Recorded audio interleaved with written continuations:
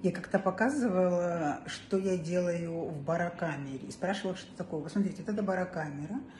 А, здесь находишься внутри.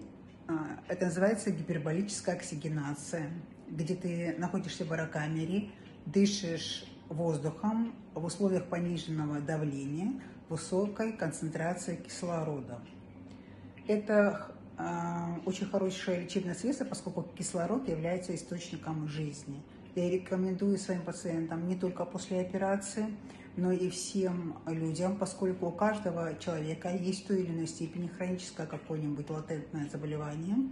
И в целом это обладает и процедура оздоравливающим эффектом, поскольку улучшается здоровье, соответственно, а, улучшается и внешний проблем. Нет, я рассказываю про барокамеру.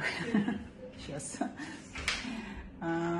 Красота не в уколах, которые мы делаем, а красота – это состояние нашего здоровья.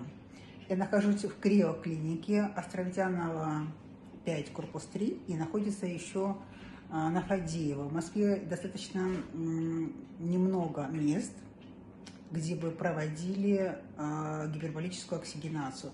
Всем пациентам, у кого есть какие-то трофические нарушения, у кого есть недостаточность питания, кровоснабжения. Всем очень рекомендую. Это а, в условиях современной жизни забытый способ лечения.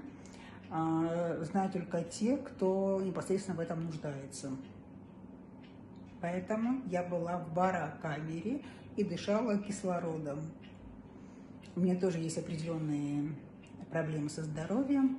Я их лечу в условиях высокой концентрации кислорода. Криоклиника. Очень рекомендую.